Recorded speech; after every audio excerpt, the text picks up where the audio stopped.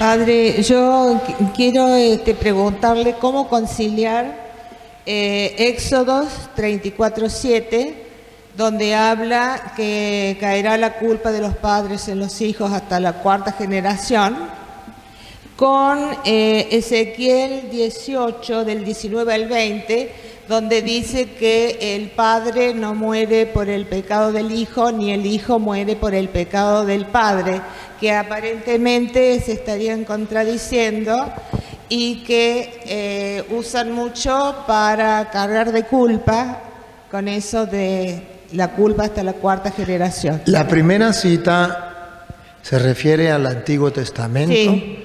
para la gente del Antiguo Testamento. Y la segunda cita, Ezequiel 18, del 19 al 20. la esa, si quieren leer la segunda cita. Ezequiel, Ezequiel 18 del 19 al 20. y lo puede leer desde, desde el 17 a ver. La segunda cita está hablando Ezequiel como profeta de lo que vendría ya en el Nuevo Testamento.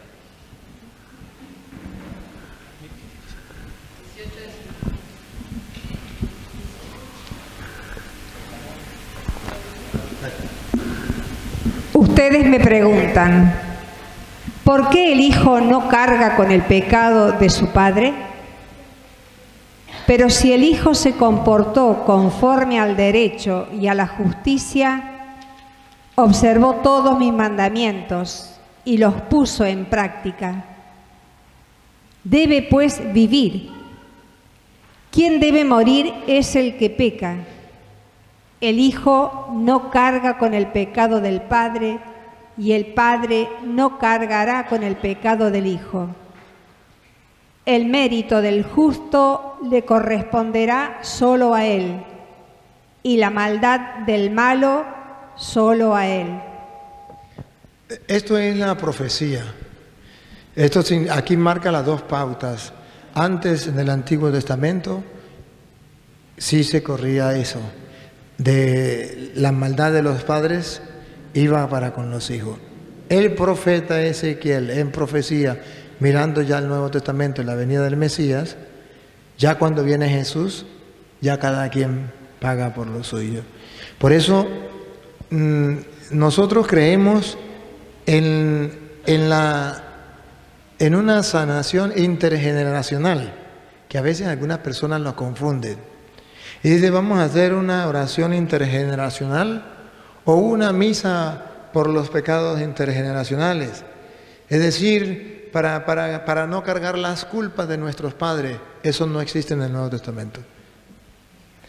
Existe oración intergeneracional y misa intergeneracional, no para no cargar el pecado, sino que los pecados de nuestros padres, ellos lo pagan y nosotros lo de nosotros. Pero al ellos cometer ese pecado, nosotros nacemos con inclinación a ser como ellos. Ahí es donde viene a formar parte o donde surge efecto la oración intergeneracional o la misa por sanación intergeneracional. Pero no confundir que eso, la oración o la misa es para que Dios no nos castigue por los pecados de nuestros padres. Error, error, error. Eso era en el Antiguo Testamento, ya en el Nuevo Testamento lo había profetizado Ezequiel, eso no es así. Pero sí para que se rompa la cadena, porque si mi, mi bisabuelo era un borracho, mi abuelo era un borracho, mi papá era un borracho, ¿qué es lo más, lo más común que pueda hacer yo? Un borracho. Obligatoriamente no, pero sí voy a estar inclinado a eso. ¿Qué tengo que hacer? Pedirle a Dios, Señor, rompe esa cadena. Yo no quiero ser un borracho como mi padre. No estoy diciendo, Señor, quítame el peso del pecado de mis padres y mis abuelos. No, eso no.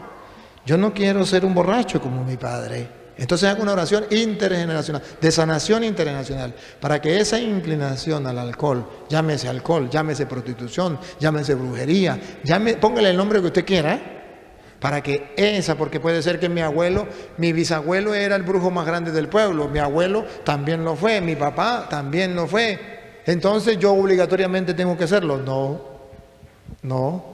O yo voy a pagar el pecado de ellos tampoco.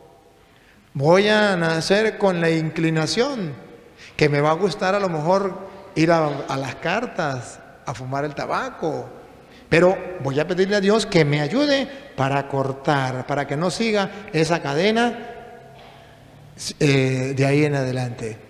Entonces, debemos distinguir una cosa de la otra. Ya en el Nuevo Testamento Jesús nos enseña que eso no es así, ya estaba profetizado.